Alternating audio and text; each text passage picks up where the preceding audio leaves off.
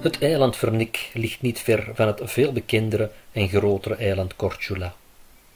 Wij bezochten Vernik met een watertaxi, die ons ook naar andere naburige eilanden bracht.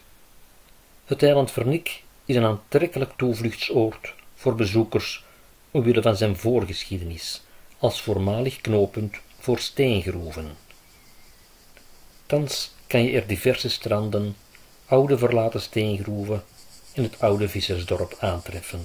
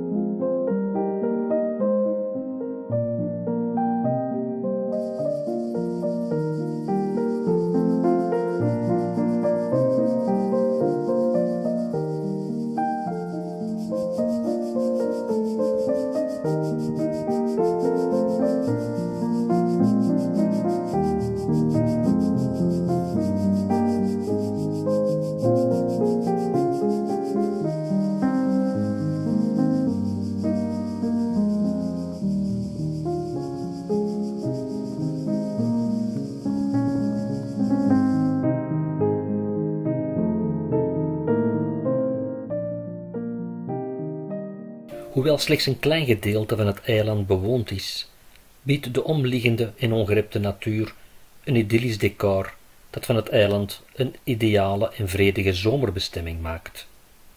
Je kan er wandelingen maken in een rustgevende omgeving en een verleidelijk plaatsje zoeken om verkwikkende plons in het water te maken.